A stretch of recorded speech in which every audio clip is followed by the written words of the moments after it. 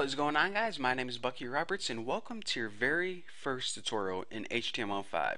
Now in this tutorial series what I'm going to be doing is I'm going to be taking you from a complete noob in HTML5 to a seasoned vet teaching you guys all the little tricks, all the tips, giving you guys all the information you need to create awesome websites. So if you guys are like, okay, I don't even know what the heck HTML5 is, well, I kind of just gave it away. It's basically a way where you can create awesome, sweet, epic websites.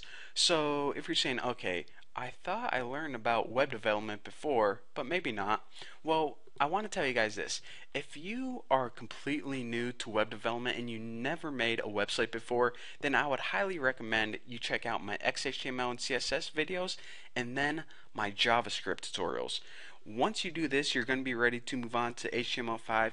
If you kind of skip over these, and this is the very first video you're watching on web development, I'm going to be moving kind of fast and you might get kind of lost. So I just want to tell you guys that first. Now, if you're like, okay, what the heck is all this crap? I'll give you guys a five second introduction. XHTML is basically the core basic elements of a website. It's basically like your foundation. CSS is how you make everything look pretty, add some colors, arrange the pictures nicely, and JavaScript provides functionality, interactivity, it lets the user interact, and basically makes your web page a whole lot smarter. So, with the basics, with making it look pretty, and by making it smarter, you guys might think, okay, so that's basically everything I need to make an awesome website. Well, HTML5 is kind of like an XHTML, CSS, and JavaScript burrito. It ties all of it together, makes it a whole lot better, and it's just going to take your web development to the next level. So that's what you guys have to look forward to. It's going to be awesome and amazing.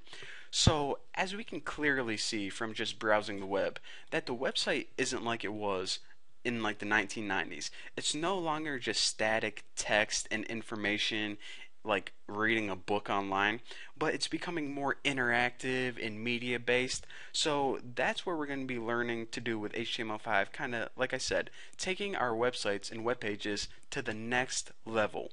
So before we begin, before we start typing a whole bunch of code, I want to mention a few things. We need a couple tools in order to write HTML5. The first tool we need is a text editor.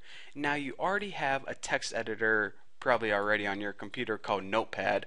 However, this is a really dull and boring and simple one. It's not the best. So what I would recommend doing is downloading this one right here. This is called Notepad++. If you go ahead and type that in Google, you can find it and download it for free. But this is a text editor that I would recommend. It's the one I always use, and you guys are going to thank me so much for uh, telling you guys about this. Did I mention it's free? Oh yeah, it's free. So aside from a basic text editor, you also need Google Chrome.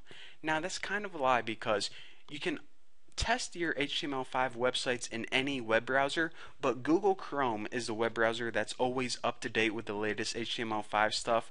So if you're using Internet Explorer or Firefox, then I would recommend switching over to Google Chrome because like I said it's always up to date. And aside from that I'm going to be testing all my sites in Google Chrome. So if you want to follow along and do exactly like I'm doing then it's probably best you get the same tools that I'm using.